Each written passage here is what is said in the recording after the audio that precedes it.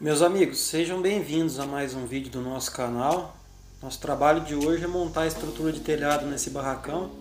As dimensões dele são 8,60 por 11,50. Então segue o vídeo, espero que vocês gostem do conteúdo. Primeiro passo é preparar as emendas dos arrochantes da tesoura. Nesse caso a gente usa sempre uma emenda mão de amigo, inclusive para quem ainda não tem conhecimento de como fazer essa emenda, Aqui no canal a gente tem diversos vídeos trazendo essas dicas para vocês.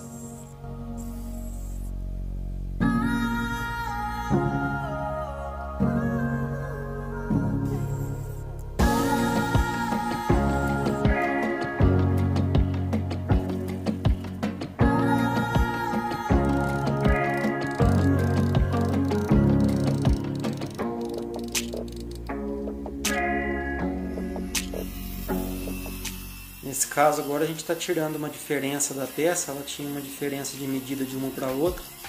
A gente está ajustando essa diferença para poder fazer as emendas ficarem corretas ali, as duas peças ficarem no mesmo padrão de tamanho.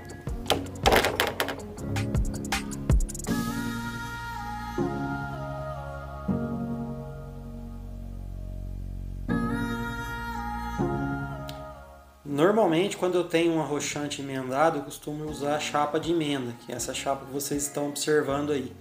Essa é uma chapa de quatro furos. Os parafusos que vão nela são de meia polegada. E a gente faz o furo também com a broca de meia, para que o parafuso entre bem justo. Para quem está começando é um pouco chato ajustar o alinhamento do furo aí, mas com o tempo você vai pegando um pouco de prática e e aperfeiçoando a técnica de encontrar os furos. Eu geralmente eu, eu termino de limpar o furo com a broca de meia um pouco mais longa, para que saia toda a sujeira desse furo. Aí agora a gente está usando sebo de boi para passar no parafuso. Observe que é um parafuso francês e a chapa vem com o lado de baixo com o furo quadrado para poder dar um melhor acabamento no, na parte de baixo da chapa.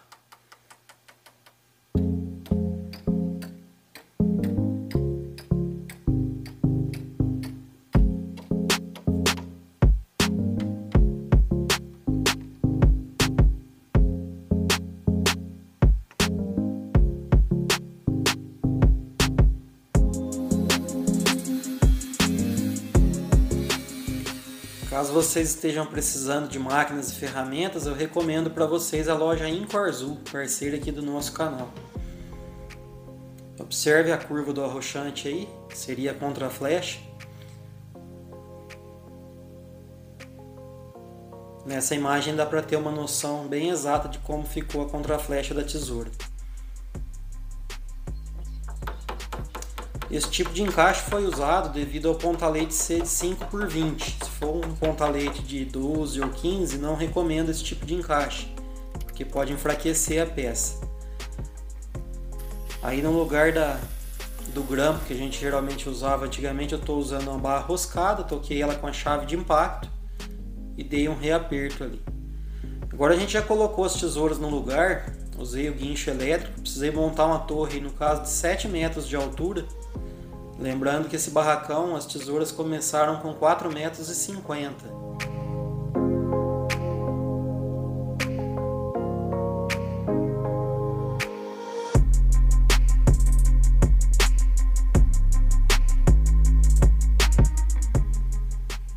Agora a gente está preparando as emendas de mão de amigo do frechal, que é a peça de apoio paralelo com a parede ali que vai receber os caibros. Então a gente faz um alinhamento, inclusive gravei um vídeo dando essa dica aí para poder colocar. Vocês observam que eu coloquei algumas cantoneiras no telhado ali para poder apoiar o fechal e apoiar também o espigão que vem na sequência.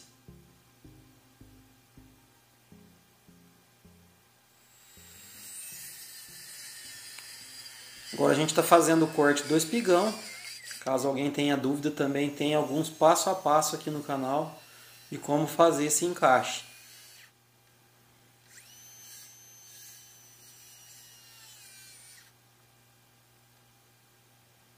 Terminou a bateria, tem que parar e trocar, não tem jeito.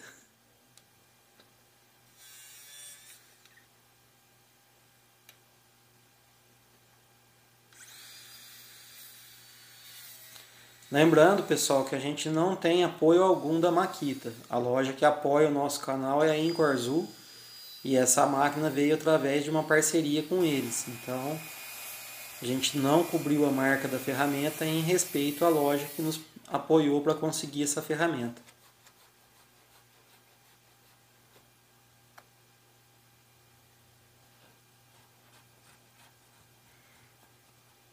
Este serrote que a gente usa, ele é um jack da Irving. Não é propaganda, mas na minha opinião é um dos melhores serrotes que a gente tem hoje no mercado. E, infelizmente está difícil de achar para encontrar, para comprar. Acho que talvez a Irving não esteja mais fabricando, mas é um dos melhores aí.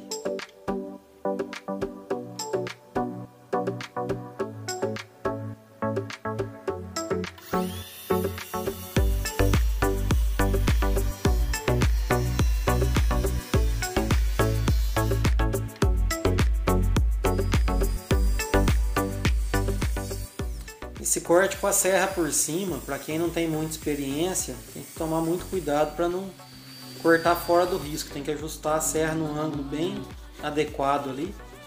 E depois tem que finalizar com o serrote ou com a serra sabre. No caso eu tenho a serra sabre, mas como é uma peça de espessura pequena, dá para tirar tranquilamente no serrote ali, sem sofrimento.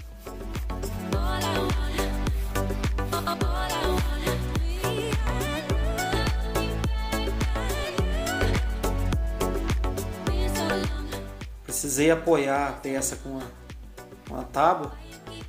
Ela estava torta, estava querendo cair. E aí o telhado já com os quatro espigão no lugar, dá para observar bem as cantoneiras de apoio que a gente colocou no espigão.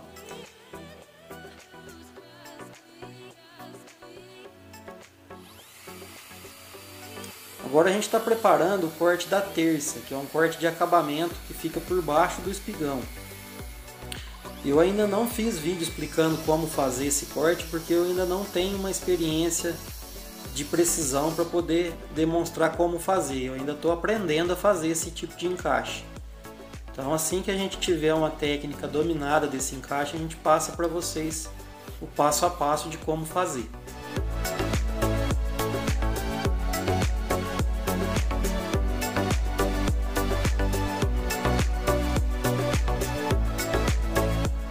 Agora a gente está preparando para tampar os furos ali com as cavilhas. Cola Woodwood, parceira de longa data aqui do nosso canal. E a gente está cavilhando os furos aí com a cavilha da mesma madeira. Principalmente nas laterais é importante fazer isso para que se vier chover não venha manchar a madeira. Quando é por baixo, até inclusive teve alguns lugares que eu bati prego. Porém nas laterais a gente colocou parafuso.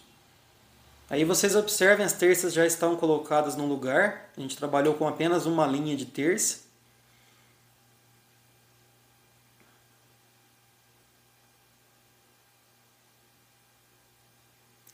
Começando a colocação dos caibros ali, a gente trabalhou com 50 centímetros de eixo na divisão desses caibros.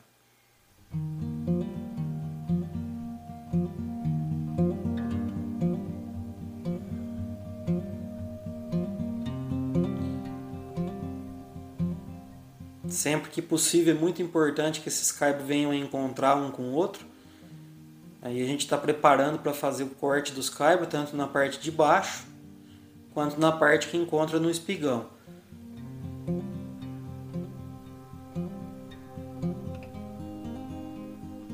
Sempre importante a gente ter uma sulta, viu pessoal? Inclusive, escreve aqui nos comentários, quem quiser alguma dica aí de como fazer uma sulta artesanal.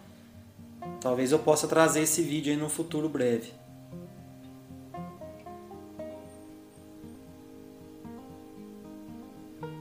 Broca 716 que a gente usa para fazer o rebaixo da cavilha.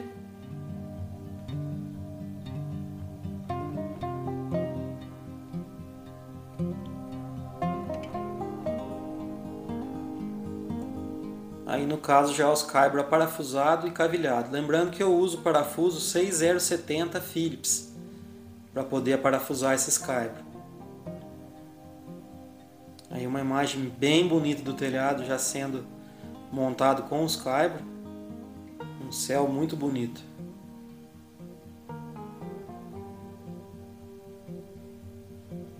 detalhe importante é que vai ter uma calha L aí depois para captação de água, não dá para ver, porém depois vai ser colocado aí paralelo com a parede por cima dos caibros a calha L, que é para captação da água de chuva. Se alguém tiver dúvida, eu tenho vídeo no canal aqui mostrando esse sistema de calha.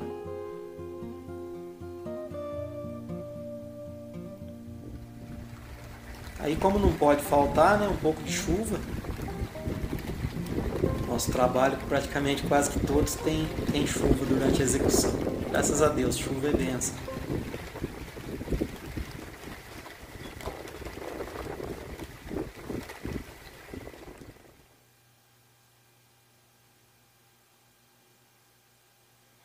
E aí o telhado já pronto praticamente, com o ripamento, faltando apenas algumas travas lá por baixo. Nossa cidade aqui de Espírito Santo do Pinhal, para quem não sabe de onde a gente é, a gente é da cidade de Espírito Santo do Pinhal, interior de São Paulo. Inclusive, muita gente pergunta se a gente trabalha fora. Infelizmente, a gente não consegue atender fora da nossa região. Mas eu agradeço a todo mundo que confia e segue nossos trabalhos.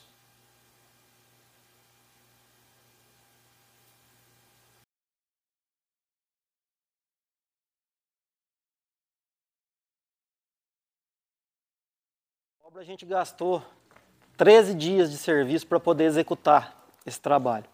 As madeiras que a gente usou foi cupiúba, peça 5 por 20, só os espigão que foi colocado 5 por 25 e as peças de caibro que a gente usou foi 5 por 11. Numa inclinação aí de 40%, um trabalho bem diferenciado, um pouquinho fora do padrão que o cliente queria, ele queria executar esse telhado no no estilo de telhado suspenso, que seria sem as tesouras, porém o prédio aqui não tem estrutura para suportar um telhado desse. Por essa razão a gente optou de fazer dessa forma com as tesouras e mesmo assim ficou um telhado bacana, um telhado com uma aparência legal e o cliente ficou satisfeito com segurança. Então espero que vocês tenham gostado desse vídeo, espero que tenham gostado do trabalho. Meu muito obrigado pela presença de cada um de vocês. Que Deus abençoe sempre o lar de cada um e até o nosso próximo vídeo, se Deus quiser. Um grande abraço, meus amigos.